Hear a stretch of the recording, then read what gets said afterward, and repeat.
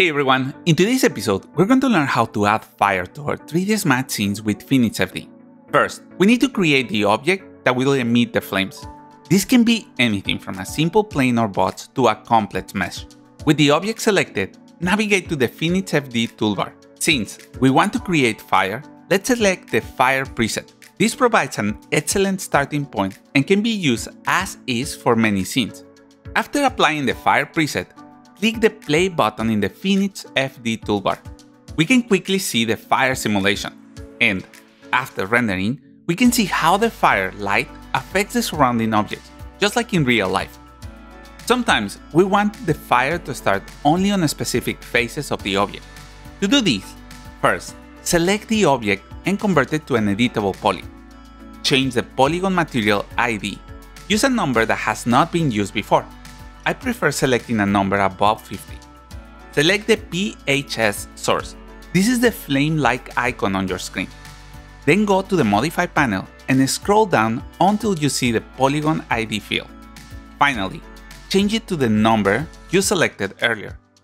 If you have another simulation, you can delete it by pressing the trash icon.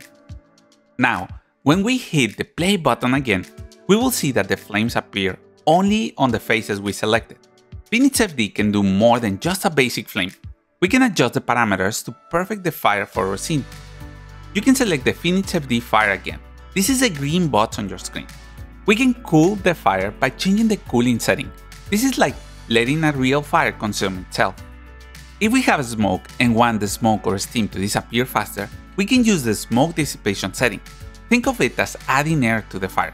The smoke will spread out and disappear more quickly making the flames look less intense. Once you're happy with the fire effect, we need to render it. Phoenix FD works well with different render engines like V-Ray or Corona. Ensure your lighting and mood are configured to capture the fire and smoke, as this effect tends to look more impressive in low light conditions, like evening or night. These are just a few basic examples. Phoenix FD offers many options to explore.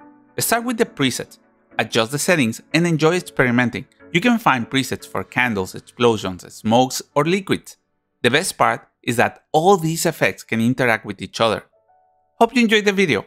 Don't forget to click the like and subscribe button. If you have any questions, let me know in the comment section below, and thank you for watching.